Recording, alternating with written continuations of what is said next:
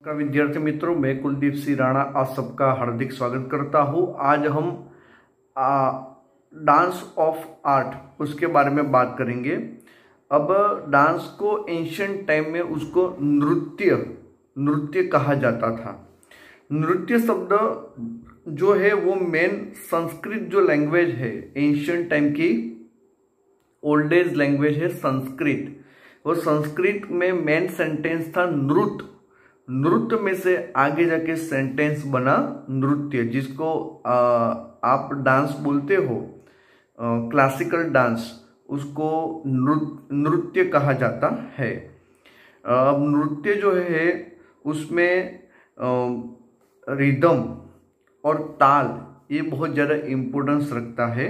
और रिदम ताल के साथ बीटी की भी एक अनुभूति कराता है ये नृत्य। जो डांस ऑफ़ आर्ट है, ऐसा कहा जाता है कि देवादिदेव महादेव, यानी लॉर्ड ऑफ़ शिवा, उन्होंने स्वर्ग में से ये डांस अर्थ में, यानी कि पृथ्वी में लाए थे। ठीक है? उनको, उनका नाम है दूसरा नटराज शिव जी का, लॉर्ड ऑफ़ शिवा का दूसरा नाम है नटराज। उसका मीनिंग होता है नट राज यानी डांस का राजा द प्रिंस ऑफ़ डांस, यानी जो डांस करने वाला प्रिंस, उसको बोलते हैं नट राज ठीक है? वो स्वर्ग में से अर्थ में लेके आए थे, ऐसा कहा जाता है। एंशियंट इंडिया का इंडिया के शास्त्र में जो डांस हमारा है, उसमें शास्त्र, हमारे जो हमारे जो नृत्य है, उसको बोलते, बोले जाते हैं शास्त्रीय नृत्य, यानी क्लासिकल डांस उसमें आता है Bharatanatyam, Kuchipudi Kathakali Kathak, Manipuri, Odissi et cetera et cetera ये हमारे इंडिया के शास्त्रीय नृत्य यानी क्लासिकल डांस कहा गया है। उसमें हम बात करेंगे भरतनाट्यम। भरतनाट्यम जो है, वो एस्टाब्लिश हुआ तमिलनाडु के तांजोर डिस्ट्रिक्ट से। और ये भरतनाट्यम कहाँ से आया? तो भरत मुनि जो एंशियंट टाइम के जो बहुत बड़े राइटर हुए, उन्होंने जो ड्रामा लिखा नाट्य शास्त्र और नंदी के स्वर ने उन्होंने लिखा था अभिनव दर्पण। इस दोनों ग्रंथ में से स्टोरी को अप्लाई करके डांस में अप्लाई करके ये पूरा नाट नृत्य बना है, यानी क्लासिकल डांस बना है, जिसको हम बोलते हैं भरतनाट्यम। ठीक है?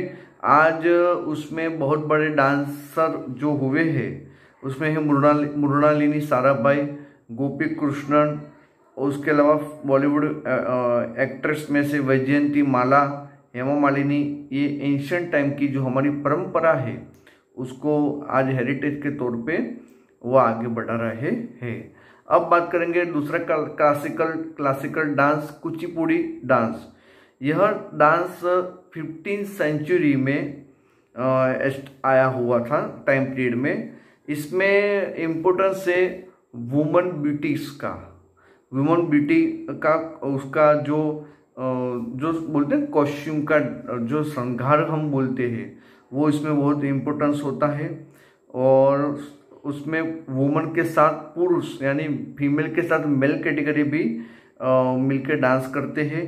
कुचिपुड़ी में कहीं डांस अमुक डांस ऐसे है कुचिपुड़ी में, जिसके जो स्टेप है, जिसकी जो मुद्रा है, वो एंशंट टाइम में से ली ली हुई है।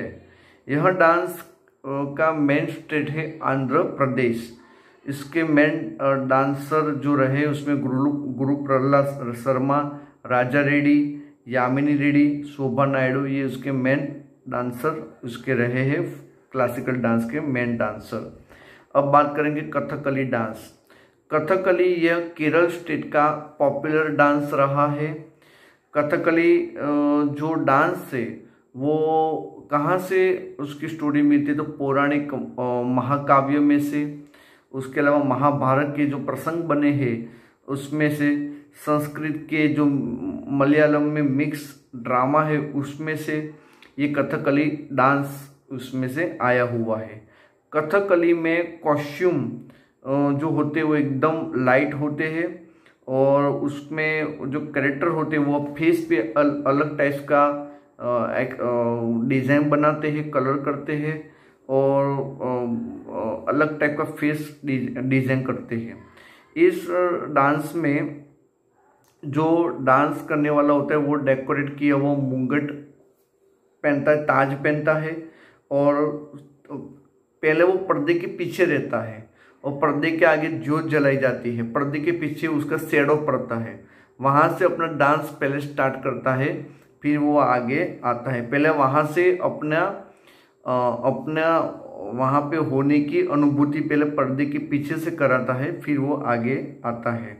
ठीक है? तो इस तरह से म्यूज़िक के साथ वो अपना डांस स्टेप शुरू करते हैं। तो एक डांस के मेन डांसर है कवि श्री वल्लथोड़ कलामंडलम कृष्ण प्रसाद शिवारमन ये उसके मेन डांसर रहे हैं। कथकली कंट्री और फॉरेन में भी आ, आगे बढ़ा है यह डांस कथक डांस कथक उसका सेंटेंस है कथन करे सो कथक कहावे यानी कथा करे सो कथक कहावे। ठीक है? तो महाभारत के जो श्री कृष्ण और गोपियों के जो बातें कही गई है, उसके जो डांस के बारे में तो उसमें से यह डांस, कथक डांस उसमें से आगे जाके वो एस्टेब्लिश हुआ। वैष्णव संप्रदाय से, वैष्णव संप्रदाय जो जो श्री कृष्ण को मानने वाला संप्रदाय को बोलते हैं वैष्णव संप्रदाय, वो श्रृंगार भक्ति में मानते हैं। भगवान के अलग अलग टाइप्स के श्रृंगार करते हैं। तो उसमें से नॉर्थ इंडिया में यह डेवलप हुआ और एक पैर पे खड़े रह के राउंड राउंड करके घूमने का होता है और इस डांस में जो वुमन होती है, वो डार्क लाइट पायजामा पहनती, चूड़ीदार पायजामा और डार्क लाइट लाइट क्लोथ पहनती है। उसके मेन डांसर रहे बिरजू महाराज, सीतारा देवी, कुमुदिनी लाखिया, ये सारे इसके मेन आर्टिस्ट रहे हैं। अब बात करेंगे मणिपुरी डांस मणिपुरी जो होते हैं, वो वहाँ की प्रजा फेस्टिवल के तौर पर जब फेस्टिवल होता है, तब वो यहाँ डांस करते हैं। मणिपुरी डांस जो है, उसमें श्री कृष्ण के बाण लीला के साथ जुड़ा हुआ है और रासलीला के आधारित है। मणिपुरी डांस को डांस के टू टाइप्स है। लास्य और तांडव, ऐसे टू टाइप्स है। मणिपुरी डांस के टू टाइप से लास्य और तांडव, ठीक है? यह डांस में वुमन होती है, रेशमी यानी सिल्क ब्लाउज पहनती है और कमर पे पट्टा लगाती है और ग्रीन कलर का रंग का चनिया पहनती जिसको कुमिन कहते हैं। इसके मेन जो आर्टिस्ट वो गुरु आम्बो सिंह आतंबू सिंह गुरु बिपिन सिन्हा नैना जवेरी निर्मल मेहता ये इसके मेन आर्टिस्ट है। तो यह आज हमने बात की आ, हमारे इंडिया के क्लासिकल डांस के बारे में। तो इसको अच्छी तरह से दोबारा रीड करना और तैयारी करना प्रिपरेशन करना। नमस्कार जय हिंद। और कल हम आर्ट ऑफ़ ड्रामा की भी बात करेंगे तो कल का नेक्स्ट लेक्चर भी किसी को मिस करना नहीं है। दोबारा जय हिंद।